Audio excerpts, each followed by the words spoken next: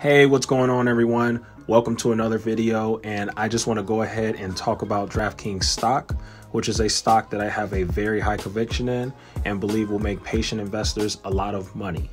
So, first, let's just go ahead and analyze the situation, right? So, DraftKings has been selling off pretty much ever since the deal with Entain was announced. Now, eventually, the deal didn't go through, and the stock continued to sell off from there but let's just go ahead and put everything into perspective. So, first off, DraftKings is down 5% at the time of this recording. However, if you look, you can see that all the other gambling stocks are down pretty bad as well. I mean, look at Penn Gaming. The stock is down 5% as well. And then Rush Interactive is down 5%. And then you've got Wynn, Caesars, and MGM that are all getting killed as well. It was just a bloodbath today for the gambling stocks. And so it's not just DraftKings. The entire gambling sector is down, and this is because of the inflation news that came out today. So let me go ahead and explain that part. So, first off, the entire market was down today because the CPI data got released this morning, and that CPI data showed that inflation was up 6.2% in October from over a year ago, and that represents the highest inflation in 31 years. Now, this actually has a specific impact on gambling stocks, and here's why. So, when you have inflation, that affects consumer purchasing power. And what that simply means is the cost of certain foods, like a used car, gas, furniture, food, milk, rent, goes up from what its price was around this same time last year. And so now you're paying more money for things that you absolutely desperately need. And so when you have to pay more money for your essentials like gas, food, and rent, then your purchasing power for entertainment activities like gambling decreases. And so, greater purchasing power is a very positive sign for the gambling slash casino companies. However, consumers have less purchasing power today than they did a year ago because of rising inflation. And this could be a reason why the casino stocks are selling off so hard.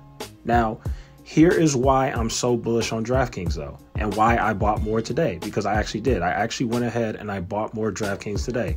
I saw it go down to $40 and I'm like, okay, this is way too cheap. I mean, DraftKings hasn't been down to $40 in uh, it, well, it's been down to forty dollars, but if it breaks forty dollars, it would have been a long time since DraftKings has broken that. But anyway, the reason why I'm so bullish on DraftKings is because the online gambling market size is expected to increase by 127 billion dollars by the year 2027.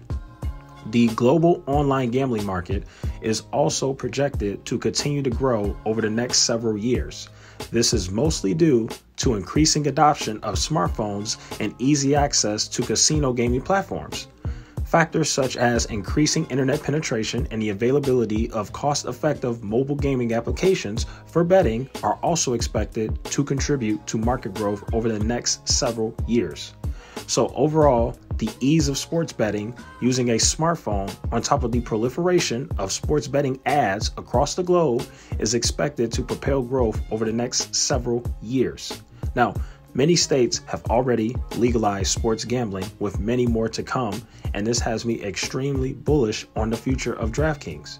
Gambling is going to be a huge and profitable industry going forward, and seeing how DraftKings controls a large percentage of that market share, I think DraftKings stands to benefit nicely from the future growth of sports betting, and I think investors who are patient will benefit nicely from this. And this is why I am such a bull in DraftKings. There are so many states that still have not legalized sports gambling, and there are about three or four states that are currently in the process of legalizing sports betting.